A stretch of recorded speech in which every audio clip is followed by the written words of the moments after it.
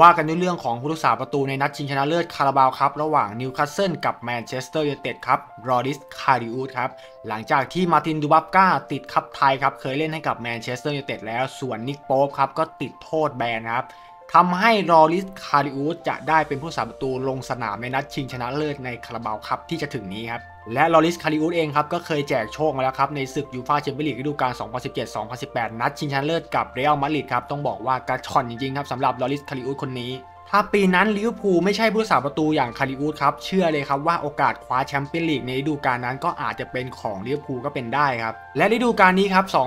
2022-2023 ครับลอริสคาริอุสจะได้โอกาสพิสูจน์ตัวเองอีกครั้งหนึ่ง ต้องมาดูครับว่าเขาจะสร้างเซอร์ไพรส์ให้กับแมนยูเต็ดหรือเปล่า แต่ต้องบอกกันเลยครับว่าสถิติที่ผ่านมาในการลงเล่นของลอริสคาริอุสเจอกับแมนเชสเตอร์ยูไนเต็ดครับทีมของคาริอุสยังไม่เคยชนะแมนเชสเตอร์ยูไนเต็ดเลยครับโดยเสมอ 1 แพ้1ครับ โดยถูกยิงไป 2 ประตูครับ และ 2 ประตูนั้นมาจากฝีมือของมาคัตแรดฟอร์ดครับ แล้วพวกคุณล่ะคิดว่านัดชิงชนะเลิศคาราบาวครับปีนี้ครับแมนเชสเตอร์ยูไนเต็ดหรือนิวคาสเซิลจะเป็นแชมป์ครับ ลองคอมเมนต์มาบอกกันหน่อยครับ และหากคุณชื่นชอบคลิปนี้ อย่าลืมกดติดตามกดไลค์กันโปรด กดหัวใจให้ผมเพื่อเป็นกำลังใจให้ด้วยนะครับและเพื่อที่ฟุตบอลจะได้เป็นส่วนหนึ่งในชีวิตของคุณกับดอฟฟุตบอลครับ